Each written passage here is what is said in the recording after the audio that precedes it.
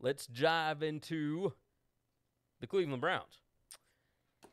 And this is uh this is one of Chris's teams here. It's my boys. Um, it's my boys. Kevin Stefanski in his first season. Uh, they went six and ten last year under Freddie Kitchens. That was not great. Their win total is set right now at eight and a half.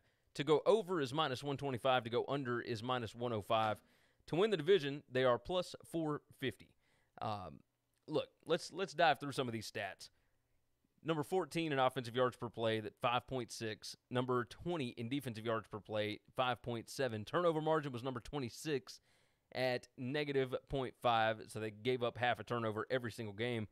Um, if you look at what this team's offense is built like, and you look back at what Kevin Stefanski did with the Vikings, you got two, you know, talented tight ends, and, and the Vikings ran 43%, two tight end personnel on the field. So that's that's quite a bit. do. Th- I do think the reason they've not traded Njoku is because they are trying to convince him you're going to be on the field. Yeah, you are You're going, to play. Yeah. We did not bring Hooper in to take your place. Uh, and on top of that, Nick Chubb can be. I mean, he was second in the NFL in rushing last year, Yes, sir. and he can be to this offense what Dalvin Cook was to the Vikings last year. I think he's. I think he's better than Yeah. Cook. Um, now the question that we have here, obviously, uh, now one, the offensive line I think is going to be improved from last season. They bring They in Jedrick Wills. some. They Yeah. went and got some big uglies as well. and then they brought in Jack Conklin. So that's a you know pretty big signing for them. Uh, the question is, can Baker improve? Now the offensive line is a big part of that, but I think with Baker Mayfield, if you can get him to improve just a little bit, get him to quit throwing the ball to the wrong colored shirt, then you got a chance to be really good. The defense, I mean, they got talent on defense, uh, we, but we know it's is loaded. it's Myles Garrett. Like it, that's that's the dude.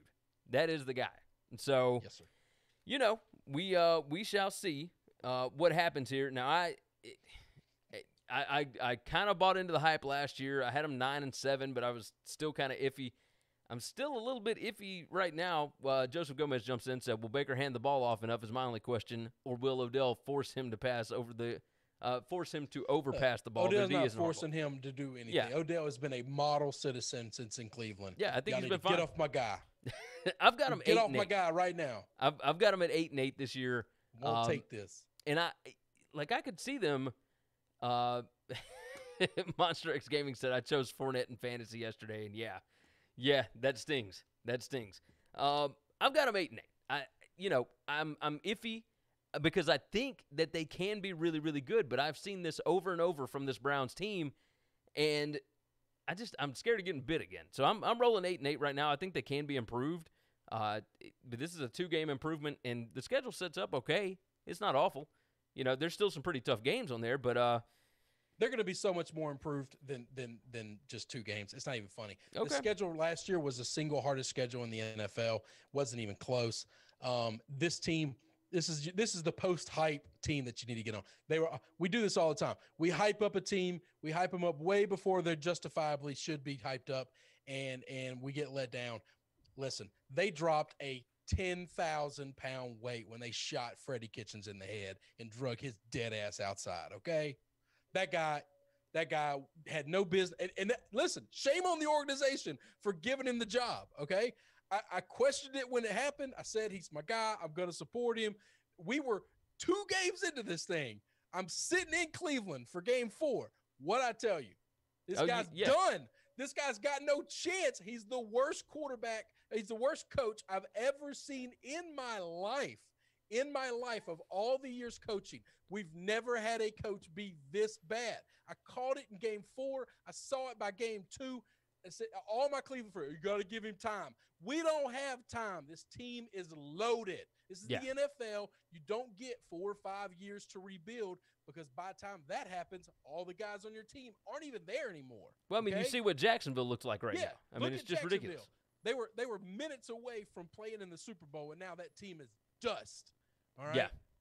So- uh, hey, so let me let me tell you what Kyle said here. By the way, he said a few injuries to the secondary in camp this week. The losses of Randall and Burnett are those concerning, and the secondary was great, but they couldn't stop the run last year. He said they do have the fourth easiest schedule on paper this year. Yes, sir. Yes, sir. Myles Garrett will be the defensive MVP. That guy is a monster. Have you bet on this guy for for defensive MVP every single? No, just last year and this Okay. year. Okay, it felt Just like it's been the last three years. just two years and, and doing his rookie year. I bet on defense rookie year. Just two years, okay?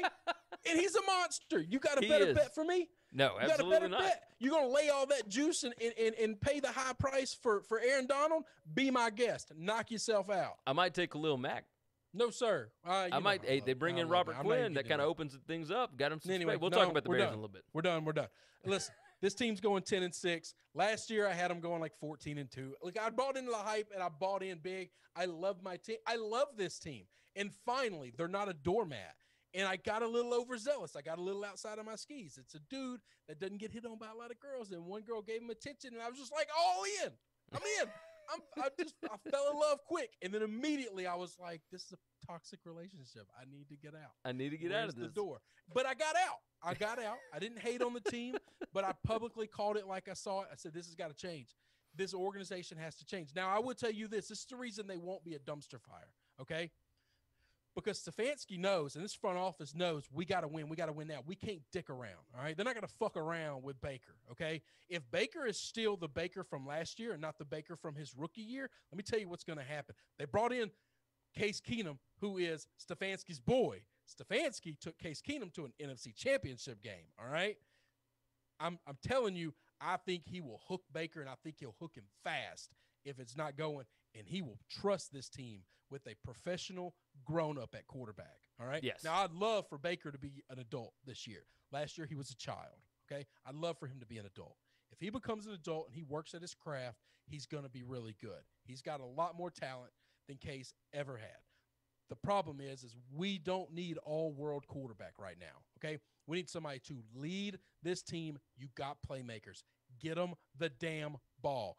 Learn to read a defense and stop being an idiot. Get your head out of your ass. You don't have Freddie Soup Kitchens over on the sidelines keeping you held down and, and, and calling just crazy ass plays that don't make sense and not not releasing the reins and just having too much pride. Just we're just taking this ship all the way down. Okay. You don't have that anymore. You got an adult in the room in Stefanski. You got an adult in the room in the quarterback room with you with Case. Just just be be the playmaker you can be and and they're going to be just fine. This defense is going to be so much better because Baker, I trust them to not turn the ball over more. I do think Chubb has a chance to be the rushing leader this year. Oh yes. I mean, it, he had a chance to do it last year. I mean, if it He had a wasn't for chance Derrick to do it Henry, last yeah. year, and that yeah, and that was with a team that couldn't throw the football. I Yeah, mean, with the- with the not- stacking the box on him. well, and, and with a not very good offensive line. I mean, he Oh yeah, with terrible Yeah. offensive line, not just not good. They were they were they were probably in late twenties, maybe thirtieth worst. Yeah, they were they were not good. They were not good. Let's uh let's dive into the comments real quick. Uh, Kyle said Mike McCarthy slightly worse, and then uh, Joseph Gomez said McCarthy has a ring though. Uh, no chance McCarthy's worse than Freddie Kitchens. There's nobody in the world. We've had the worst quarterback to ever start 16 games in the history of the league, and that is Kaiser Sose, uh, uh, DeShone Kizer. All right. And then we had the worst quarterback to uh, the head coach to ever be able to coach 16 games, one full calendar season, the worst in history. And you're talking like four years, of three years apart, something like that. yeah, That's terrible. it's it's pretty bad. Uh, DFS Bachelor said uh, Garrett is my pick for hardcore champion. Will Garrett channel his inner Mick Foley? Um, Mark jumped in on your comment. He said girls, girls, girls. Um, Joseph Gomez said if you see a sock puppet, run DFS. And uh, and then Kyle, of course, jumps in. Chris on fire. I love it. And Mark said, Chris, you got to watch them girls.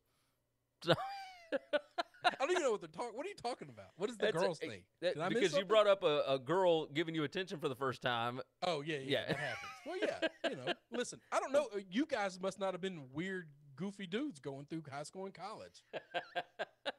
I was, I- and and yeah. guess what? Amazingly, none of the girls wanted anything to do with me.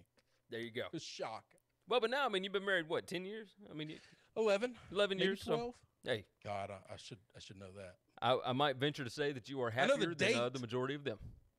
Hey, that's all you need. Just uh, remember the day. Listen, date. I got a good job. I'm a catch now. Yeah. Everybody everybody looks like shit when you get older. I got a good job. I'm stable. Yeah.